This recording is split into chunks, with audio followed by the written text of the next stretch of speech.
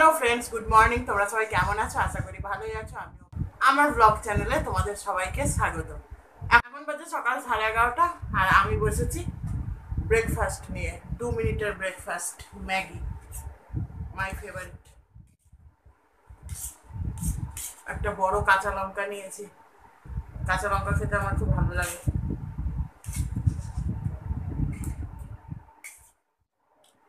অনেক দিন ম্যাগি খাইনি। ভাবলাম আজকে একটু ম্যাগি খাওয়া যাক। আমার মেয়েকেও করে দিলাম। আমি উঠেছি সকাল সাড়ে পাঁচটার সময় ঘুম থেকে। তখন ওর বাবাকে চা করে দিয়েছি, টিফিন বানিয়ে দিয়েছি ছাতুর শরবত করে দিয়েছি, ওর বাবা নিয়ে বেরিয়ে গেল। তারপরে আবার একটা ঘুম দিয়ে নিলাম। অত ভোরবেলায় উঠে আমার কিছু করার নেই। কি করব? দুটি আড়াইটি মানুষের সংস্থায় বলে যে, অনেক লেট করে উঠেছি, ঘুম থেকে তা কিন্তু নয়। উঠে পড়েছি, তা আবার সাতটা থেকে সাড়ে সাতটার মধ্যে।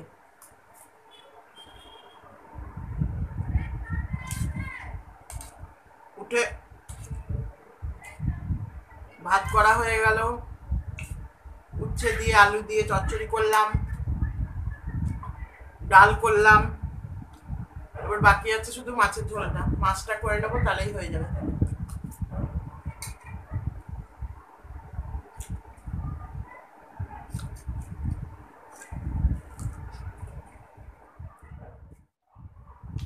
আজকে আমার মনটা এমনিতেও একটুখানি অন্যমনস্কই আছে, কারণ লিজার বাবার ভ্যাকসিন ডেট আজকে ভ্যাকসিন নিতে যাবে। তো আবার নতুন করে যে হারে করোনা বাড়ছে এই ভোট উৎসব পেরোলেই আমরা সব খবর পাবো। এখন অতটা খবর আমরা পাচ্ছি না। তাও পাচ্ছি পাচ্ছি না বললে ভুল হবে, সবই জানতে পারছি। তো যাই হোক, সেই প্রকট আকারে এখনও খবরগুলো পাচ্ছি না। তো আমি খাওয়াটা শেষ করে তোমাদের সাথে আবার দেখা করছি রান্নাঘরে। আজকে করব শোল মাছ শোল মাছ নিয়ে এসছি এর বাবা, বাজার থেকে। তো শোল মাছের রসা করব।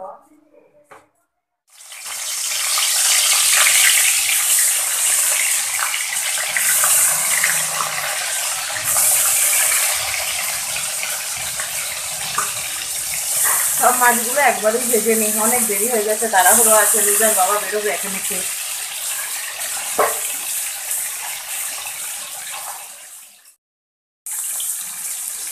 লাজাটা কেমন বেঁকে উঠেছে? জ্যান্ত মাছের এই একটা সিম্বল বোঝা যাবে? একদম টাটকা যে মাছ হয় বা জ্যান্ত যে মাছ হয়। তেলে দিলেই সঙ্গে সঙ্গে গুটিয়ে ছোট হয়ে যাবে। আবার ঝোলে দিলে সেটা পুনরায় কিছুটা ফুলে যাবে। এখন টোপ খেয়ে গেছে মানে এটা জ্যান্ত মাছ। আর এমনিতেও শোল মাছ জ্যান্তই খেতে হয়। জ্যান্ত অবস্থাতে যে মাছটা থাকে, মৃত শোল নাকি খেতে নাই। আমার মাছ ভাজা হয়ে গেছে, এরপরে আমি মশলাটা একটু বেটে নেব। একটুখানি কালো জিরে নিয়েছি, দু কোয়া রসুন নিয়েছি, কেউ চাইলে বেশিও রসুন দিতে পারে, একটুখানি আদা, একটুখানি পেঁয়াজ। এই মশলাটা আমাদের অল্প তিনজনের বলে কম, আর যত বেশি মানুষের হবে, মশলার পরিমাণ ততটা বেড়ে যাবে। আচ্ছা প্রথমে আমি এটাকে একটুখানি বেটে নিই।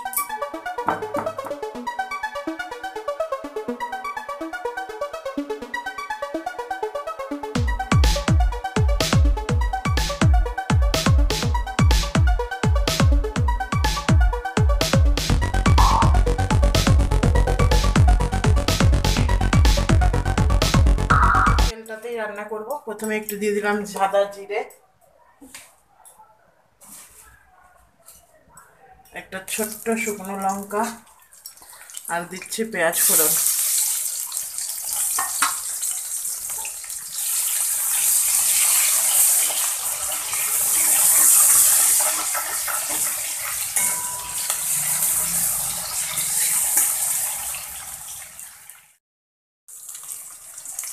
পেঁয়াজটা একটু ভাজা ভাজা হয়ে গেছে।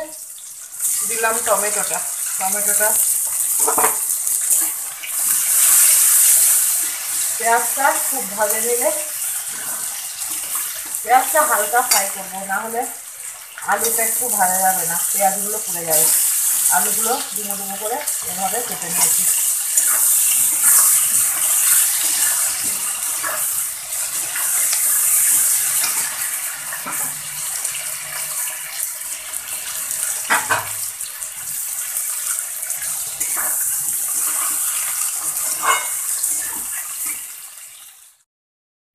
আলুগুলো আমার ভাজা হয়ে গেছে। এরপরে আমি বেটে রাখা মশলাটা দিয়ে দিলাম। আর এখানে আছে লঙ্কা গুঁড়ো জিরে গুঁড়ো, নুন, হলুদ আর ধনে গুঁড়ো পরিমাণ মতো। মশলাটা এবার এর মধ্যে দিয়ে দেবো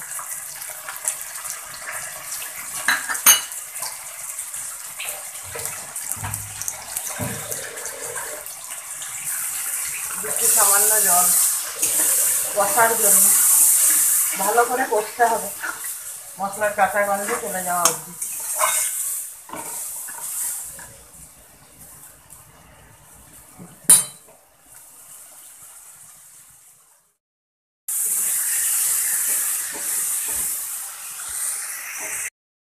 মশলাটা কষানো হয়ে গেছে।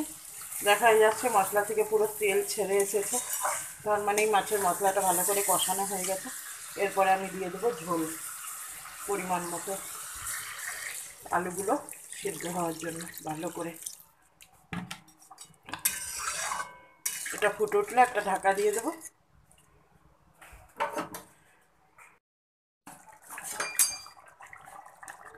আলু একদম সেদ্ধ হয়ে গেছে। ঝোলও অনেকটা শুকিয়ে এসেছে, এরপর আমি দিয়ে দিচ্ছি মাছগুলো।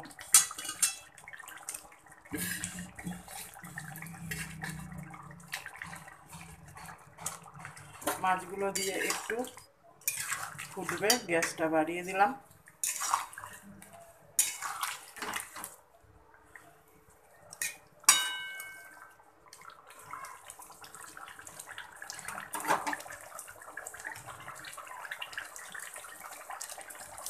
এরপরে এর মধ্যে একটু গরম মশলা গুঁড়ো দেবো